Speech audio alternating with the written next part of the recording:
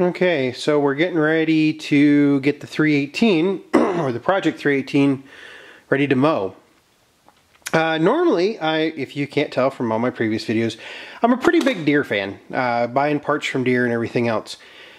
Uh, I decided with this 50 inch deck that goes on the 318, I decided I'm going to try out an off-brand, which in this case, it's an XHT, um, I don't even know what it is, but basically it's a it's the equivalent of a John Deere uh, M86209 uh, blade, which is just the standard lift blade for the 50 inch deck. Uh, bought these because they're basically 25 bucks cheaper than the blades from Deere. Not that that really it, entered my decision, uh, but I mainly wanted to try something else out, see how the product quality was, etc. Um, basically, this is a Stens blade. Uh, it says Stens right here. I don't know if I can focus in on that. Let's see here. See, it says Stens right there.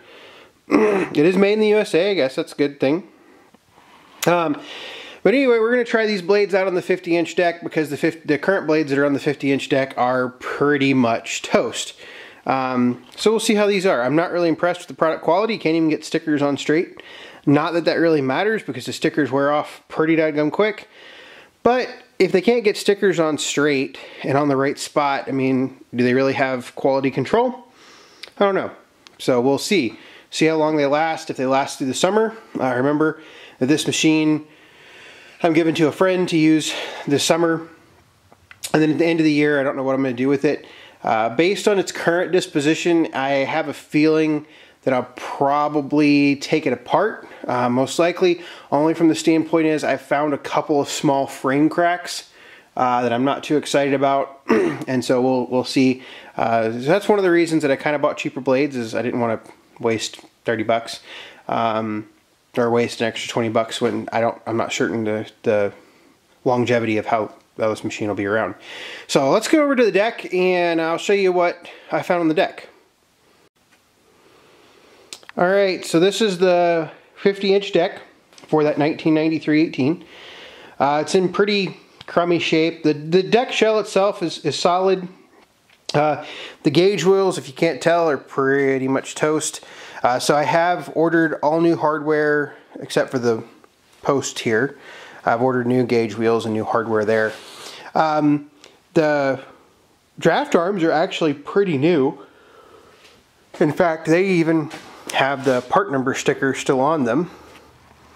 Right there, doesn't see a part number. But I think the the city that owned this before um, was was do actually doing maintenance before they took it out of service. So uh, you know, not really all that too big a concern with this deck. Um, it's only going to be used for one summer. That's my intent, and then we'll send it on down the road.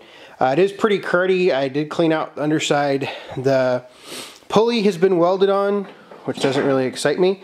The bearings actually seem pretty good. I thought I was going to have to replace bearings and whatnot. But everything seems okay uh, for bearings. Belt seems okay. There is some rust in the pulleys, but we could deal with that. So, um, yeah, we'll get this. Uh, once I get the parts in, we'll go ahead and uh, take this deck and, and, redo it, or not redo it, but we'll install the new parts to make it somewhat serviceable. Uh, install the new blades and everything, and I should be good to go. So that'll be the next part of the video, is installing the blades and all the new parts and everything, and uh, seeing how how those XHT blades uh, end up. And hopefully, maybe if the grass starts growing, we might even get a video of it cutting the grass uh, at the end of the video. One thing that does concern me really quick is mule drive. Mule drive is not in the best shape. I will have to take the black cover off the cover off the front.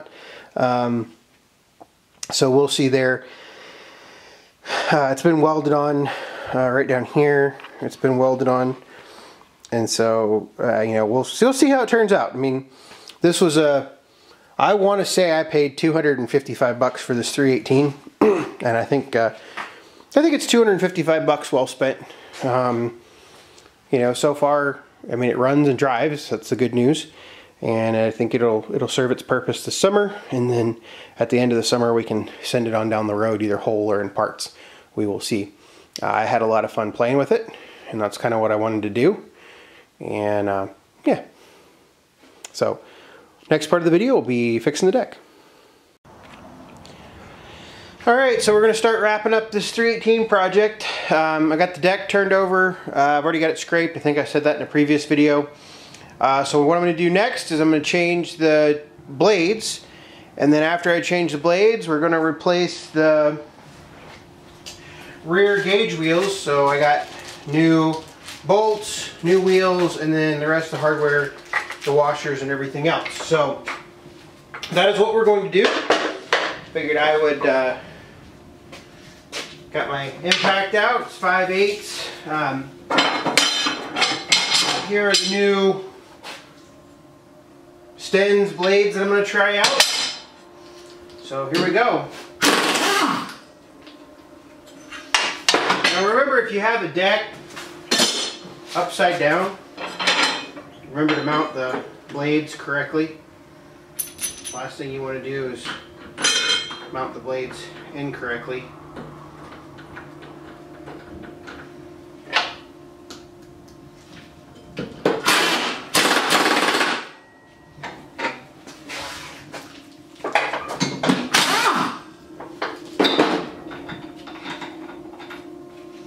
Hopefully here in a couple months, I will have a new electric impact. At least that is my goal. I have been shopping for one for quite a while. I just haven't haven't really found one that I wanted or could afford at the moment.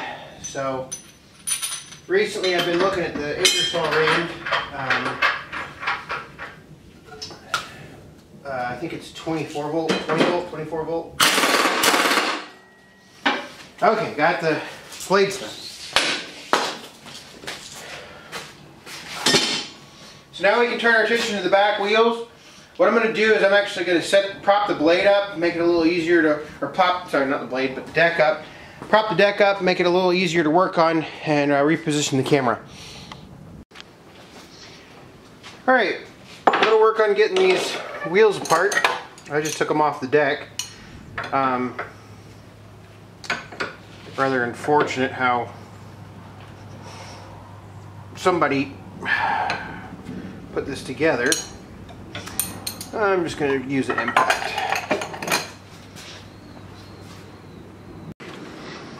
Alright, like take 28 for trying to get this nut off here. Um, I don't know if I'll include them all. But we're going to get it off here one way or another. Get this wheel off. There we go. Alright. So, this is the old wheel one washer and one very worn out bolt. Let me go get the new wheel.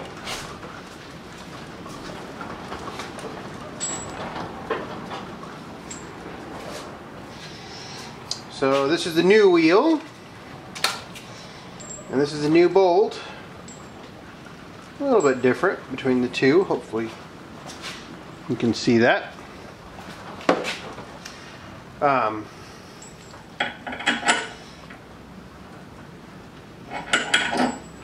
so, put the.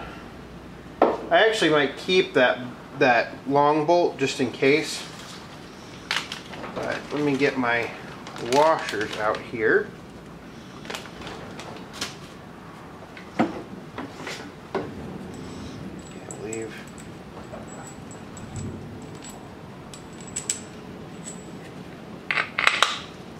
That. And there's this washer that goes on the inside. That washer that goes on the outside. And then the lock nut. Now I'm not going to put this together with an impact.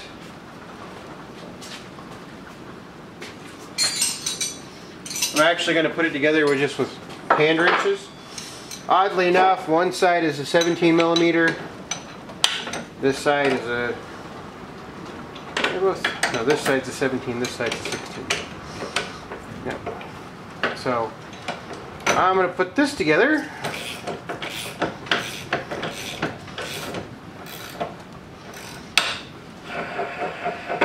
Much better.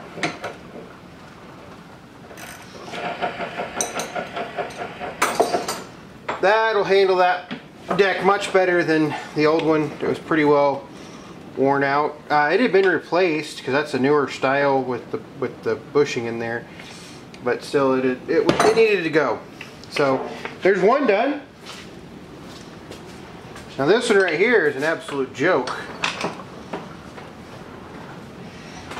see if I can get this one apart.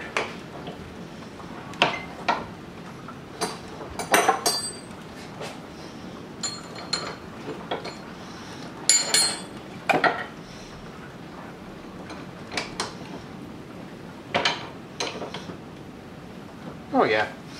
So this one actually I think has been replaced before. It was replaced with the wrong gauge wheel. There are actually two different types of gauge wheels. Um, this one even has the correct washers.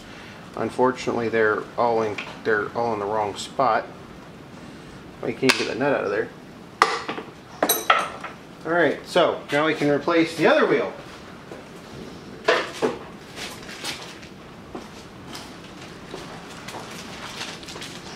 There is a serial number break on these decks for which part you, uh, for which bolts you need and stuff. I've never been able to figure out exactly what the reason is because um, all these gauge wheels are, the wheels are exactly the same. So the I think the serial number break is somewhere right at a 550,000, something I can't remember off the top of my head. Um, but there is a serial number break in these gauge wheels. It has to do with the shoulder bolt here. Go figure. The shoulder bolt's slightly different. The newer style decks, the equipment is a little bit more expensive. So I don't know. Maybe try it out. I think you'll end up with the same problem that the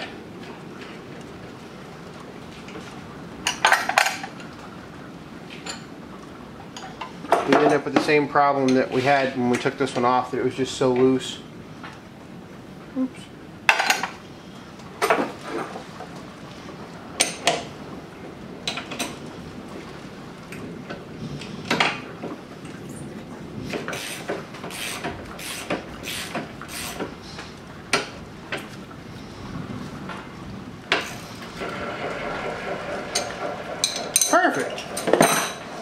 Now we have two fixed gauge wheels for the deck.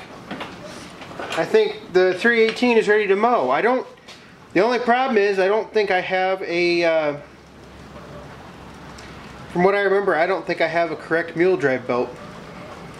So I'll have to look into that and see if I can find the correct mule drive belt.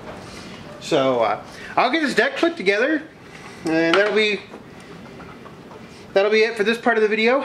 And uh, the 318 project's almost done. In fact, I think um, the, the folks that are going to use it this summer are going to come pick it up uh, about five or seven days and they can use it all summer and then sit it on down the road.